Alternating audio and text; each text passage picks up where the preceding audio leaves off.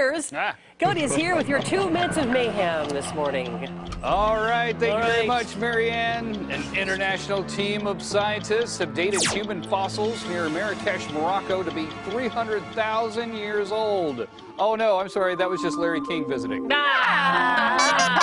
Oh, dang. That's 100,000 years earlier than the previous specimens of Homo sapiens discovered in East Africa. Scientists say that this is a significant finding, not just because of the age, but because of the location. It's believed that the uh, East Africa is where the modern humans evolved, but finding the specimens in Northwest Africa challenges that idea. This discovery widens the cradle of life from East Africa to the whole continent, and then suggests that these evolutionary changes were happening across the continent at the same time. It's kind of big news. Yeah. Kind of feel bad we put that in two minutes of mayhem, quite honestly. That's, that's actually good science. Uh, perhaps he was looking for the hare. A tortoise from New Mexico breaks out of his owner's backyard and takes a little stroll. But this isn't the first time this animal's hit the road. It's his third, people. Dude. He's serial. And it took a neighborhood to get this guy home safe. His name is Speed Bump. Aw. Oh, I think I now know why he keeps running away. He's a 15-year-old African tortoise, and he's quite the escape artist. His owner says he's a bulldozer. He has to place 100-pound blocks of wood in front of his gate to keep him in the backyard. Dang. But Speed Bump dozed his way through, picked up speed.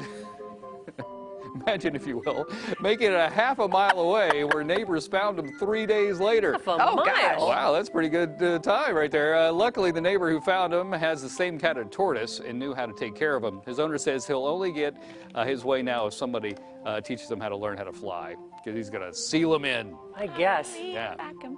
But if you name your turtle Speed Bump, he's probably going to try to run away as fast as he can. All right, this is cool. Uh, An Ohio artist and basketball fan revealed a strange creation. Meet Lint Bron James. Okay, let's hear. Oh! you! Oh. No, It's, a it's not belly button lint, so you're okay. Uh, it's an eight-pound bust of LeBron, the NBA star LeBron James, made out of lint. Sandy Buffy, yeah, that's Sandy Buffy, uh, Oh, said she actually used 30 gallons of lint, three gallons of glue, and various recycled materials to create the sculpture. The lint was gathered through donations from 30 people, and it took her five weeks to make. She encourages people to stop by and rub his head for good luck ahead of today's game four. Good luck with that. She made a similar sculpture last year when she said she helped LeBron's Cavaliers win the basketball championship. Hmm. The Warriors led the Cavs, or lead the Cavs, 3-0 in the Yes, final. yes, they do. Yeah, and tonight could be it. That'd be, yeah, that would be some the- comeback. And the creepy lint head works. I don't see that happening. I don't even like emptying the lint from the dryer, much less putting glue in it and making it. Ah, I hate that shot. Oh, I that's- hate that oh, shot. That's the shot. I can't stand. Oh. That cat, I think it's got some it. digestive problems. Oh, stop. Ah. Oh, That concludes your two minutes of mayhem.